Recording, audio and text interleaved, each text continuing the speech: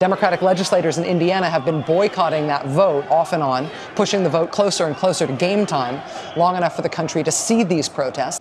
Well, today, finally, the Indiana legislature finished passing this bill. Today, he signed it right away, almost as if he was in some kind of a hurry.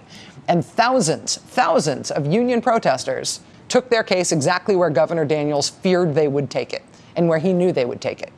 They marched into the heart of Indianapolis's Super Bowl Village. Joining us now is Indiana State Legislator Scott Pelath, the Assistant Democratic Leader in the House. Uh, Mr. Pelath, thanks very much for being back with us.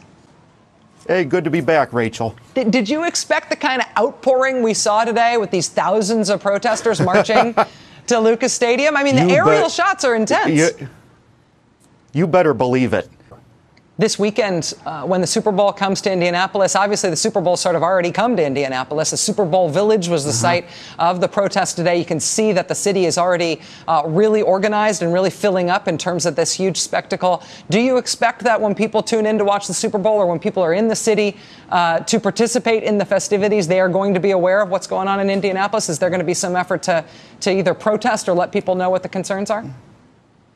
Well, let's remember we got two union teams playing each other in a stadium built by union workers in Indianapolis. Uh, there's going to be some education going on. Uh, we may have had the setback in Indiana, but it's much, much bigger than that. This uh, national platform has to be used to let the rest of the country know because guess what? The Speaker of the House in Indiana already is bragging that he's had uh, guys from other states calling him, wanting to know how you cram through this right to work. We're already hearing calls from Michigan.